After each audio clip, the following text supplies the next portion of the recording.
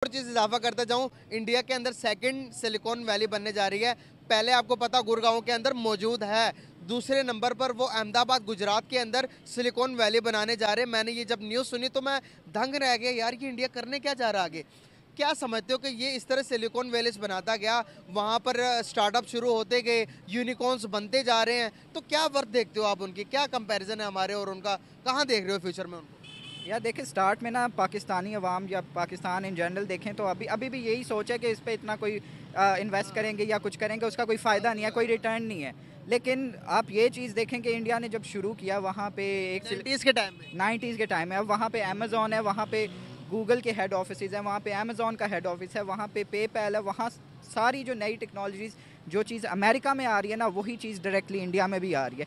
ये silicon valley वहाँ पे होने का वहाँ पे हेडकोार्टर्स होने का यही फ़ायदा है कि जो भी न्यू टेक्नोलॉजी आती है वो डायरेक्ट यूएसए से सिर्फ़ इंडिया में भी जाती है। अच्छा। तो उनको भी वो फीचर्स मिलते हैं और हमें देखें हम अभी तक ना पेपैल हमें मिल रहा है उसके उसके मुकाबले में कोई चीज़ें निकालते हैं लेकिन what what is a copy can never be as good as the original उसमें वो फीचर्स नहीं आ सकते।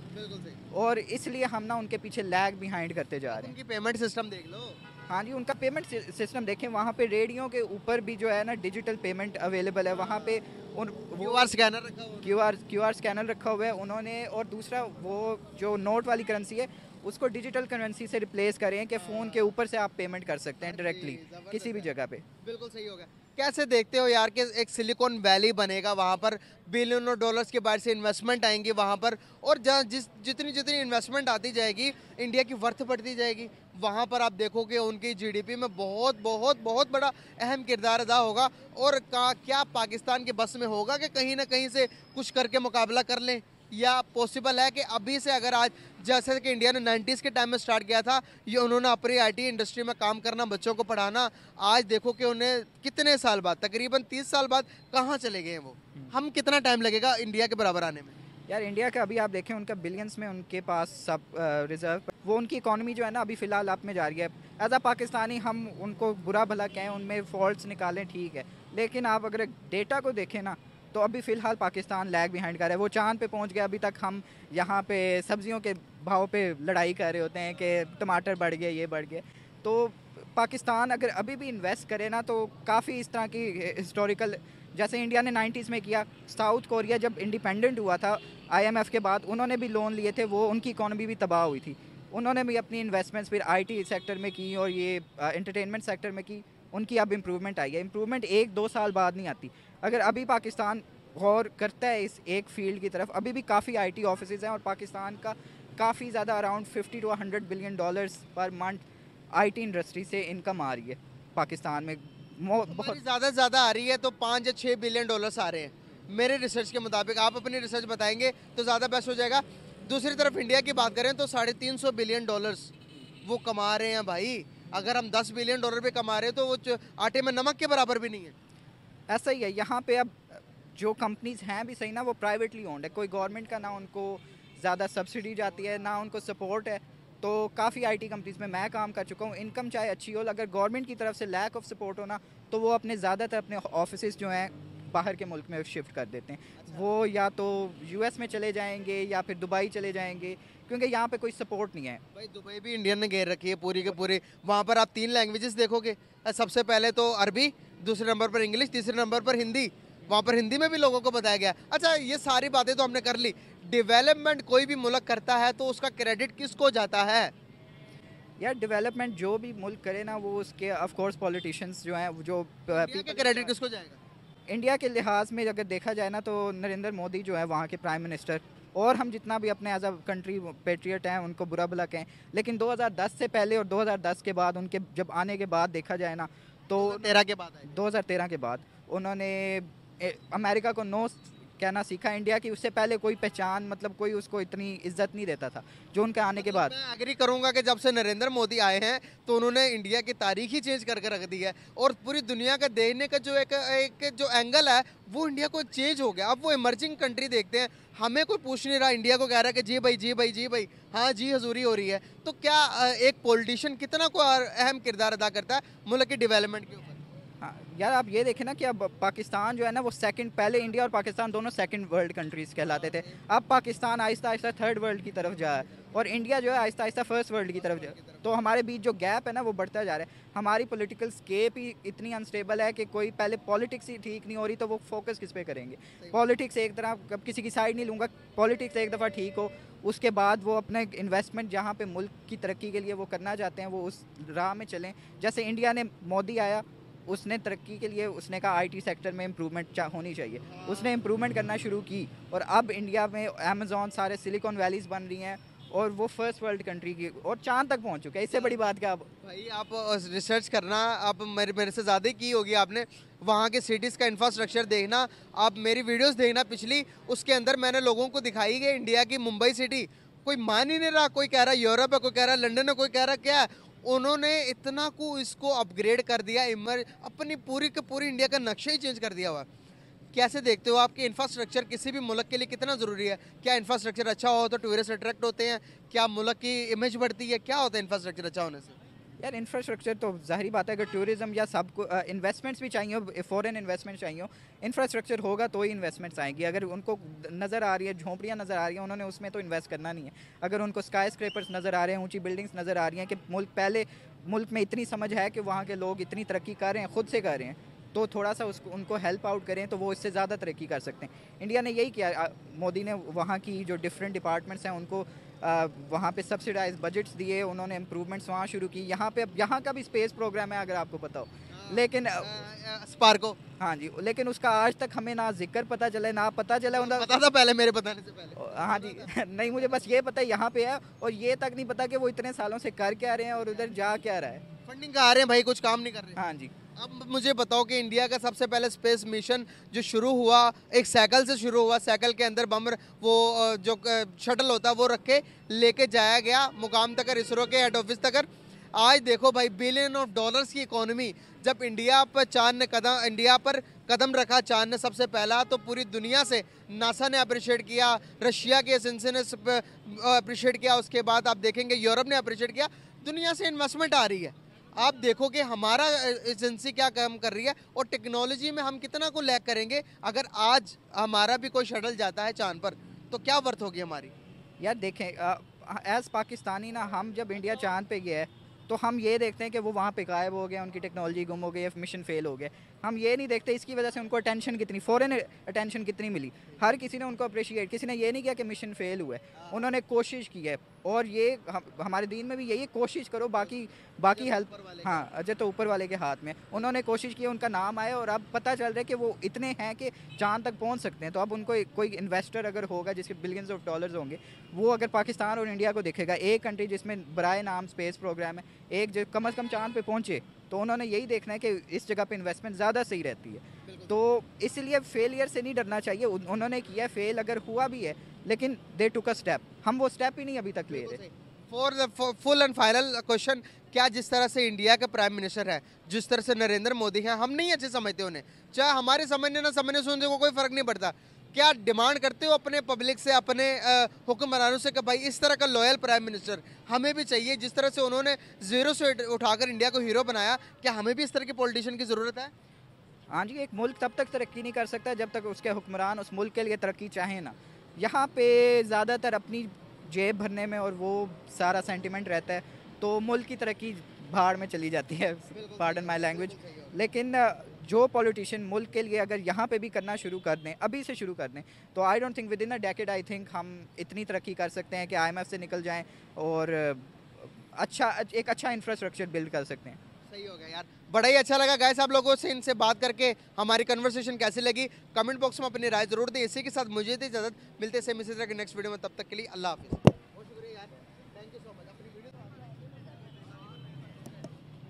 डिवाइस ऑन है? अस्सलाम वालेकुम। अस्सलाम। कैसे हैं आप? बहुत अच्छे। नाम आपका? मोहम्मद फैसल। क्या करते हैं? हम जॉब करते हैं। अच्छा ज़बरदस्त क्या जॉब करते हैं? हम हौजरी की जॉब करते हैं। अच्छा ज़बरदस्त हो गया। क्या लगता है आईटी के लिहाज से पावर के लिहाज से पैसे के लिहाज से कौन सा मुल्क ज़्यादा पावरफुल और मज़बूत है इंडिया या फिर पाकिस्तान? पाकिस्तान। पाकिस्तान आप बताएँ। पाकिस्तान। पाकिस्तान है। आप बताएँ। हम तो अपने मुल्क ही कहेंगे कि पाकिस्तान ही है। पाकिस्तान। पाकिस्तान आ गए अब आपने मुझे ये बताना है कि कौन कौन से फ़ील्ड के अंदर पाकिस्तान इंडिया से ज़्यादा बेहतर है? जी हर शहर से पाकिस्तान बेहतर है। कौन सी शहर में कौन सी चीज़ में वो बताएँ? कोई एक नाम बता दें। रिश्वत से। हैं? रिश्वत से। रिश्वत लेने में? जी बिल्कुल ठीक है रिश्वत लेने में। मतलब अगर कोई हमारे उनके साथ मुकाबला किसी भी सेक्टर के अंदर हो जाए हम उनसे नहीं जीत सकते? नहीं। बिल्कुल। सिर्फ़ बहादुरी से जी सकते हैं। बहादुरी में? हम बहादुर ज़्यादा जी। किस चीज़ में हमारी बहादुरी ज़्यादा है? हम हमारी हर चीज़ में बहादुरी ज़्यादा है। तो लड़ने में? लड़ने में भागने में हर चीज़ से। लड़ने में भागने में जी जी। हम भाग जाते हैं लड़ाई हाँ हाँ। इसलिए बहादुर है? हम बहादुर हैं। अच्छा। किस चीज़ में बहादुर है भाई? हमारे मुल्क की जो फौज है वो बहादुर आ जाए। क्या कह रहे हैं? हमारी जो फौज है वो बहादुर है उनसे। अच्छा फौज हमारी बहादुर है। फौज का मुकाबला नहीं कर सकते वो। कोई भी हमारे मुल्क के फौज का बहादुर मुकाबला नहीं कर सकता। हम फौज की बात ही नहीं कर रहे। हम यहाँ पर बात कर रहे हैं टेक्नोलॉजी में। जी। आईटी इंडस्ट्री की बात कर रहे हैं। क्या हम आईटी इंडस्ट्री में टेक्नोलॉजी में मुकाबला कर पाएँगे?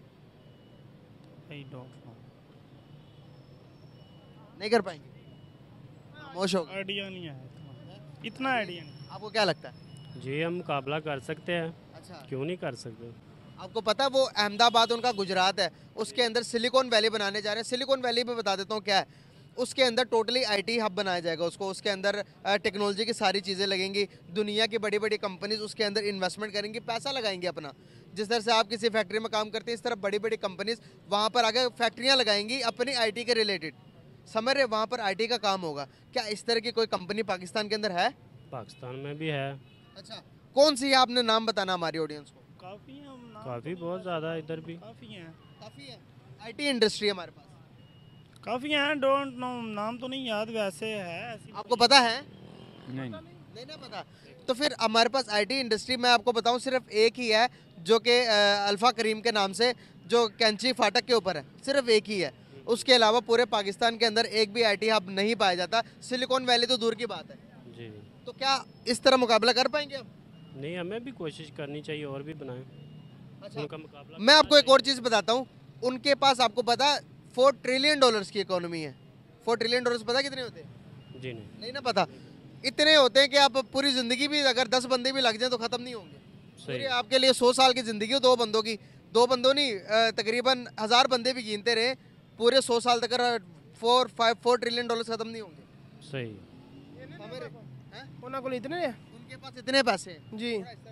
ओके हो गया। समझ आ गई? जी सर हमारे पास पता कितने जी बताए। हमारे पास हमारे पास 300 बिलियन डॉलर है। मतलब यार बात करने का पर्पज ये है बात करने का पर्पज ये कि थोड़ा एजुकेट करने का मकसद है। आप इसके बारे में घर जाके सर्च करेंगे? जी सही है करना चाहिए। इसके बारे में रिसर्च कीजिएगा। रिसर्च करके देखिएगा कि हम क्या कर रहे हैं और दुनिया क्या कर रही है। हम दुनिया से आगे हैं या फिर पीछे? दोबारा आएँगे हम मैं फिर बात फिर आपसे मिलूँगा ठीक है? हाँ, फिर आप कब आएँगे? जल्दी आ जाएँगे एक दो दिन में। हम रोज ही इधर आता है। रोज आते हैं ना हमें हम ज़रूर बात करेंगे। है हाँ फिर दोबारा बात हो ज़रूर हम बात करेंगे और आपने बताना कि आपने जो सर्च किया जो कि आपने यूट्यूब पर जाकर देखना कि which country is most powerful country कौन सी कंट्री ज़्यादा ताकतवर है वो आपको पता चल जाएगा ठीक है? आपने सर्च करना अगर कमज़ोर है तो आपने ताकतवर कैसे होना ये सोचना। अगर ताकतवर है तो कमज़ोर कैसे होना ये सोचना ठीक है? ओके भाईजान आके अल्लाह हाफिज़। मेरा नाम काशिफ हुसैन। क्या करते हैं? मैं स्टडी करता हूँ। आप क्या करते हैं? मैं इंजीनियर हूँ मैं यहाँ पे जॉब कर रहा हूँ पीएनडी बिल्डिंग में। ज़बरदस्त यार जॉब कर रहे हैं। इंजीनियरिंग किस चीज़ में की हुई है? किस फ़ील्ड में? मैंने सिविल में की हुई है। सिविल में। सिविल इंजीनियर्स हमारे साथ मौजूद है। भाई बात करने का आपसे मेरा पर्पस है कि आपको सिलिकॉन वैली के बारे में इंफॉर्मेशन है। नो no, इतना खास आइडिया नहीं है। पता ही नहीं है सिलिकॉन वैली क्या होती है। नो हम लोग अभी ट्रेनिंग इंजीनियर हैं। अच्छा ट्रेनिंग इंजीनियर और फिर भी तो ये भी फ़ील्ड कहीं ना कहीं इंजीनियरिंग के साथ भी रिलेटेड है। सिलिकॉन वैली का पर्पस पता क्या है? हाँ ये कोई खास ना बस एक सिलिकॉन वैली तो अमेरिका के अंदर मौजूद है जो कि आईटी हब मानी जाती है जिसके अंदर गूगल अमेजोन यूट्यूब ये जितनी भी कंपनीज़ है आईटी कंपनीज़ हाँ वहाँ पर होती है। समझ आ गई हाँ बिल्कुल समझ आ गई है। इंडिया के अंदर एक है ऑलरेडी सिलिकॉन वैली अब दूसरी बनने जा रही है। अहमदाबाद के अंदर बनने जा रही है। और उसने, जब वो बनने से पहले बहुत सारे बड़े बड़े इंडस्ट्री बड़े बड़े आईटी के कंपनीज़ ने कहा कि भाई, आप उन्हें बनाएँ, हम उसके अंदर आकर इन्वेस्टमेंट करेंगे। आपको पता है इसकी वर्थ कितनी होती है? ऑलमोस्ट ये किसी भी कंट्री में बने तो उसकी इकानमी में काफ़ी ज़्यादा जो है ना बदलाव आता है, बढ़ती इकानमी और मुल्क की मुआशी तौर पर ज़्यादा मज़बूत हो जाता है ठीक है। इसकी वर्थ बिलियन ऑफ़ डॉलर्स है। हाँ बिलियन ऑफ़ डॉलर्स वर्थ है इसकी ऑल पे एक ऑलरेडी वहाँ पर बेंगलुरु के अंदर उनका आईटी हब कहा जाता है वहाँ पर भी सिलिकॉन वैली मौजूद है। अब अहमदाबाद के अंदर बनेगी पूरी दुनिया की नज़रें इंडिया पर चली गई हैं। हर एक चीज़ के अंदर वो दुनिया को बीट करते जा रहा है। दुनिया को बिछाड़ते जा रहा है क्या हम उनका मुकाबला कर सकते हैं? नहीं अभी इस टाइम तो पाकिस्तान बिल्कुल भी इनका मुकाबला नहीं कर सकता क्योंकि वो टेक्नोलॉजी के लिहाज से बहुत आगे चले गए हैं। और स्टडी के रिलेटेड भी तो वो काफ़ी ज़्यादा पहले से ही पाकिस्तान से बहुत आगे हैं ना। और आगे देखा जाए वो बिज़नेस के रिलेटेड कंपनीज़ वगैरह बहुत ज़्यादा इन्वेस्ट कर रही है वहाँ पे पैसे। पाकिस्तान में तो कोई इन्वेस्ट कर रही नहीं कंपनी जो भी करती है वो उधर जाकर कर रही है। उनसे मुल्क का डेवलपमेंट हो रही है बहुत ज़्यादा। आप क्या कहेंगे इस बारे में? बिल्कुल हमारे असल में अपने बड़े पर्सनली ये जो पॉलिटिकल क्राइसिस चल रहे हैं हमारा मुल्क सारा इसी साइड पे जाए जा रहा है। बिल्कुल सही हो गया। जिस तरह से आप देखते हैं कि आने वाला फ्यूचर जो है वो आईटी का वो आने वाला फ्यूचर ही टोटली आईटी के ऊपर रिलायबल करेगा। हर एक चीज़, क्या जिस तरह से आईटी के अंदर दुनिया गौर कर रही है इंडिया ने 90s के अंदर ही आईटी को अपना मतलब कि स्टडी के अंदर, किताबों के अंदर पढ़ाना शुरू कर दिया था, बच्चों को एजुकेट करना शुरू कर दिया था। आज उनका नतीजा देखे कि सऊदी अरेबिया जितना तेल एक्सपोर्ट करके कमाता है इंडिया उतने साढ़े तीन सौ बिलियन डॉलर्स कमाता है आई से। हाँ बिल्कुल कमा रहे हैं। उनका हर बच्चा, देखो, एक छोटा सा बच्चा भी देखते हो ना वो भी देखे कि इंटरनेट पे काम कर रहा है यूट्यूब का काम कर रहा है। इवन के देखा जाए पूरी दुनिया में अगर सबसे ज़्यादा यूट्यूब का सब्सक्राइब चैनल है तो वो इनका इंडिया का है ठीक है। सीरीज़ हाँ बिल्कुल वो इंडिया का है। और इंडिया आईटी के लेवल से बहुत आगे चला गया बहुत एक आपने लास्ट टाइम देखा होगा कि उन्होंने हला पे भी अपना जो है ना गए चले गए। और पाकिस्तान ने अभी तक तो कुछ सोचा भी नहीं इसके बारे में। तो दैट्स मैं कहता हूँ कि इंडिया तो बहुत आगे अभी। अच्छा। हाँ बहुत आगे तो क्या उनके साथ अपने रिलेशन बेहतर कर लेने चाहिए? या उनके साथ जंगी करनी है, जब तक हमारे नस्लें नहीं तबाह हो जाती, तब तक हमने जंगी करनी है। नहीं, जंग तो हल नहीं है। अगर हम उसके साथ रिलेशन करते हैं ना तो इससे थोड़ा सा बेनिफिट हमें भी होगा। हमें ये बेनिफिट होगा कि हम अपनी जो एक्सपोर्ट का काम करते हैं, हम पहले दुबई दुबई से वो इतना टैक्स वगैरह लगता है। तो हम अगर डायरेक्टली उनसे करेंगे ना तो हमें भी फ़ायदा होगा और हमारे मुल्क की जो है माशी तौर पर थोड़ा मज़बूत हो जाएगा। लेकिन वो भी मसला आ गया ना कि अगर हम ये मसला सॉल्व करेंगे तो जो बाहर के मुल्क कंट्री जैसा अमेरिका वगैरह देख ले उनके जो असला वगैरह पता है वो बरामद देते हैं हम तो फिर उनका काम नहीं चलेगा ना। तो वो वही इन्वॉल्व है इस मुल्क में और वही ये काम ख़त्म नहीं हो रहे ये मसला है कश्मीर छोटा सा लेके तो ये बहुत आगे चला गया अभी। आपकी क्या राय है इसमें? बिल्कुल भाई साहब सही कह रहे हैं सेम इसी तरह है मगर मसला यही है कि हम हर एक की एक जैसी सोच नहीं होती। अगर हम में से कुछ लोग ऐसी सोच रखते हैं तो ज़ाहिर बात है इंडिया में से भी कुछ ऐसी सोच रखते हैं। ज़्यादातर लोग जो हैं, वो असल में हमारे जो 90s के, हमारी, इनके साथ जो मसले मसाइल हुए हैं, उनके जहन से वही नहीं अभी तक निकल पाई। तो ये है कि मेरा नहीं ख्याल कि इन चीज़ों को अभी भी जहन में रखना चाहिए, हमेशा मूव ऑन करना चाहिए, सब कुछ चीज़ें भुला के। इसी में उनका भी फ़ायदा और हमारा भी फ़ायदा है। आज हम ट्रेड बंद करके उनके साथ बैठे हैं 370 के आर्टिकल के बाद। आज मुझे बताएँ कि नुकसान किसको हो रहा है। आज अगर ट्रेड हो रही होती तो यहाँ पर गाड़ियाँ भी आती इंडिया दुनिया का सबसे बड़ा मोबाइल इंडस्ट्री का ऑटोमोबाइल इंडस्ट्री का एक्सपोर्टर है। हाँ बिल्कुल आज अगर उनके साथ रिलेशन अच्छे होते तो आपको नहीं लगता जो गाड़ियाँ हमें पैंतीस लाख की ज़ीरो मीटर मिल रही है वही गाड़ी हम इंडिया से इंपोर्ट करते तो ढाई लाख रुपए में मिल जाती हाँ बिल्कुल देखें ना कि वहाँ पे प्लांट लगे हुए हैं गाड़ी के। इधर जो गाड़ी मिल रही है ना एक करोड़ की मिल रही है। अगर वही प्लांट पाकिस्तान में लगता तो वही गाड़ी मेरे ख्याल से फिफ्टी लैक्स की मिल जानी थी आपको ठीक है? मतलब एक तो टैक्स कम होने जाना था मुल्क में बन रही है और मुल्क से यूज़ करेंगे। इंडिया में जो है ना इंडिया में प्लांट लगे हुए हैं हर गाड़ी के। आपने देखा लास्ट टाइम वो रिसर्च जो उन्होंने आईफोन का प्लांट लगा ठीक है। अगर वो प्लांट पाकिस्तान में लगता इधर आईफोन पाँच लाख का मिल रहा है। और वही आईफोन मेरे लाख का नहीं भाई आठ साढ़े आठ लाख का अगर पीटीए अप्रूव करवाते हो। हाँ बिल्कुल वही तो वही मैं एक साल दे रहा हूँ अगर पाँच लाख का मिल रहा है तो वही अगर प्लांट पाकिस्तान में लगता तो मैं एक डेढ़ लाख का मिल जाना था। फ़ायदा होता है, लेकिन ये हमारा मुल्क में वो टैक्स मांगते हैं, वो कह रहे थे, बिल्कुल फ्री आप लगाएँ आके क्योंकि उनके मुल्क को फ़ायदा होगा। ठीक है तो यही हमारे हालात रहे। ना हमारे पास गूगल का हेड ऑफ़िस हमारे पास मौजूद है, ना हमारे पास यूट्यूब का, ना फेसबुक का, ना ट्विटर का, ना एप्पल का, ना अमेजोन का, ना हमारे पास माइक्रोसॉफ्ट का कोई भी चीज़ हमारे पास मौजूद नहीं है।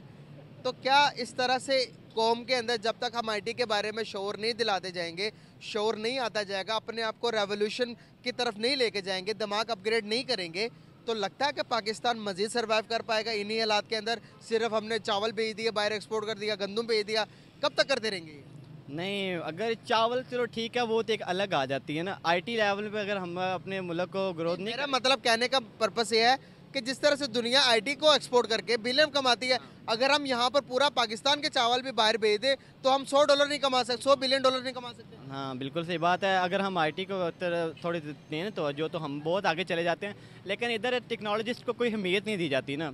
कोई भी टेक्नोलॉजी आप छोटे से कोई भी काम करते हैं ना, उसको अहमियत नहीं दी जाती। लेकिन इंडिया में कोई भी छोटे से भी काम करते हैं तो उसको बहुत ज़्यादा अहमियत दी जाती। है इवन इंडिया नहीं इवन के बाहर की कंट्री कोई भी देख लें वो बहुत बांग्लादेश में दे लो अफ़गानिस्तान में दे लो ये कंट्रीज़ में वैल्यू देने लग पड़ी। हाँ बिल्कुल बांग्लादेश ने अपनी सुपर कार भी बना लिया भाई। हाँ तो पाकिस्तान अभी वहाँ का उन्नीस सौ जब तक आज़ाद तब से लेके आज तक वही चल रहा है जैसे पहले था वही आज चल रहा है। बिल्कुल एग्जैक्टली इस तरह ही है। हम लोग आईटी के हिसाब से हम लोग बहुत ज़्यादा पीछे हैं क्योंकि हम लोग इन इन चीज़ों में पर्सनली तौर पर जो हमारे मुल्क के मसले मसाइल हैं हम लोग उसमें आगे बढ़ना ही नहीं चाह रहे।